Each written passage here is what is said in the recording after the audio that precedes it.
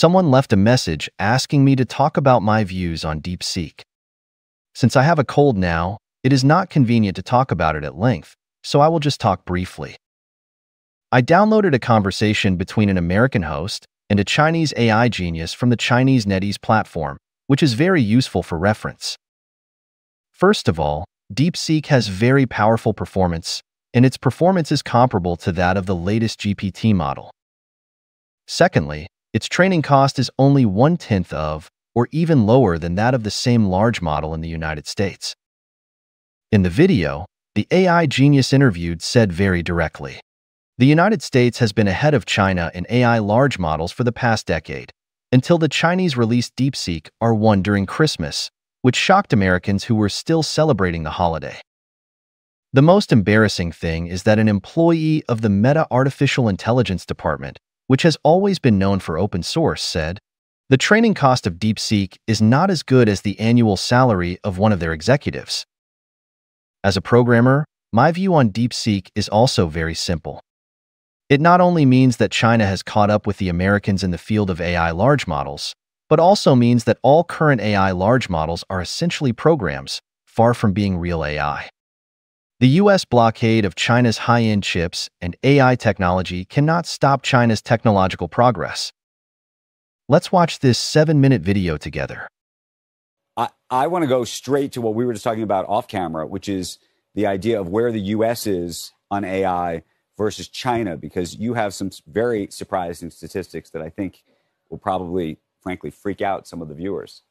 So yeah, first of all, the the AI race and the AI war between U.S. and China, I think, is one of the most important issues of today. We took out a full page ad on the Washington Post on on Tuesday uh, saying that you know America must win the AI war, and so this sort of relative race in AI between the U.S. and China is critical. Uh, today, we released uh, Humanity's Last Exam, which is a new evaluation or benchmark of AI models that we produced by getting you know math, physics, biology, chemistry professors to uh, provide the hardest questions they could possibly imagine that are relevant to their recent research to really put the test to the models. To give you a sense, no model is getting above 10% on this test. Um, that being said, you know what we found is that DeepSeek, which is the leading Chinese AI lab, their model uh, is actually the top performing or roughly on par with the best American models, which are O1 from. Okay, so OpenAI. I think we have been all under the impression that the U.S. was way ahead of China as it relates to AI, in large part because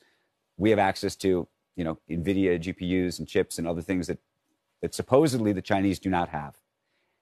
I keep hearing from people all week, from people, uh, Chinese, Chinese AI executives, that they say, well, we're so close. And by the way, we're doing it with one hand tied behind our back. Our algos are better. We're actually going to figure out how to do this, do it better than the US and in even a more energy efficient way because we don't need these super powerful chips.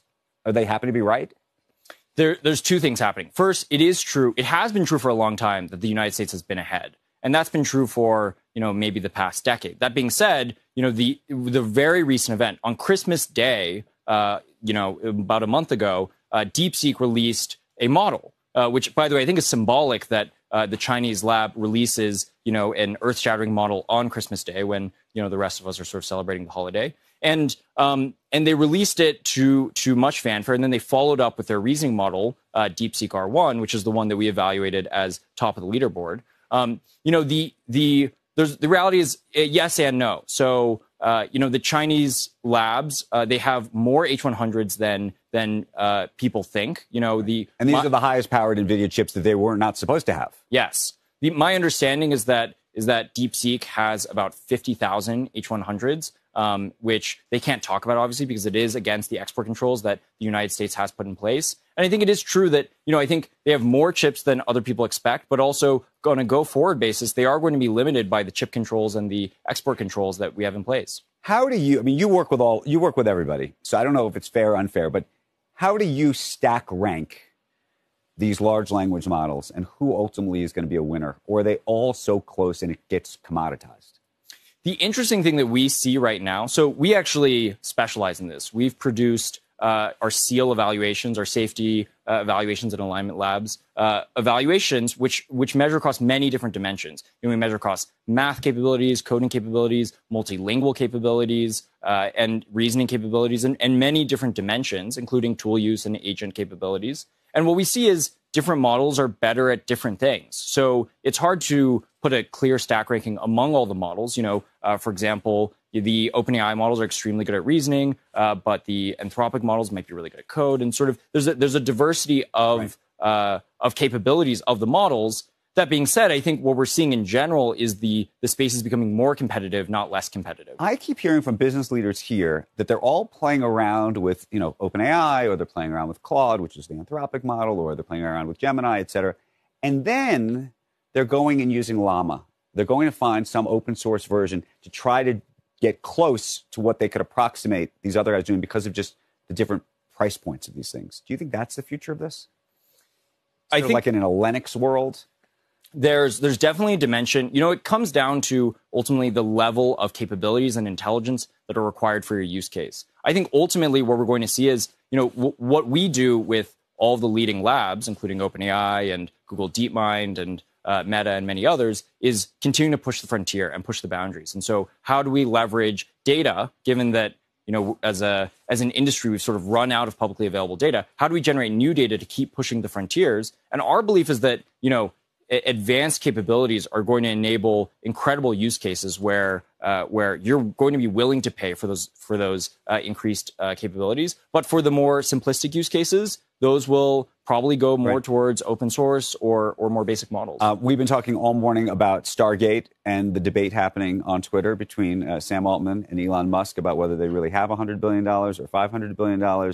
Satya Nadella was sitting in your chair just yesterday uh, saying he's got $80 billion, his money's real. He took to Twitter. What do you make of all of this? You know all these players uh, you know, so much is on Twitter anyway. So, uh, so um, I'm not sure. I have or X, we should say. Or yeah, yes. X. But um, I mean, I think one thing that is very real, regardless of, of sort of Stargate specifically as a program, is that uh, the United States is going to need a huge amount of computational capacity and a huge amount of infrastructure. So this was actually in, uh, we wrote a letter to the Trump administration yep. To on recommendations on how to ensure that the U.S. stays ahead. And one of them was really around infrastructure. We need to unleash U.S. energy to enable this AI boom. And that's clearly what we're seeing right now, which is, you know, in addition to the Stargate program, many of the major AI companies and major clouds are going to be looking to produce, to, to build right. giant data centers. So, oh, uh, the reason I asked this about the different companies doing this, do you ultimately think we need five, six, seven companies all trying to build frontier models? Or, I mean, there's been a talk forever that, you know, in a different, if, if, if Lina Khan hadn't been running the FTC, would have Amazon wanted to buy Anthropic already, for example? Or would have Microsoft bought OpenAI, or would have some of these folks, so there wouldn't be as many everybody competing against each other in the same way. I don't know. Maybe you think the competition is great. I, I just don't know how long long term how many models there ultimately will be like that.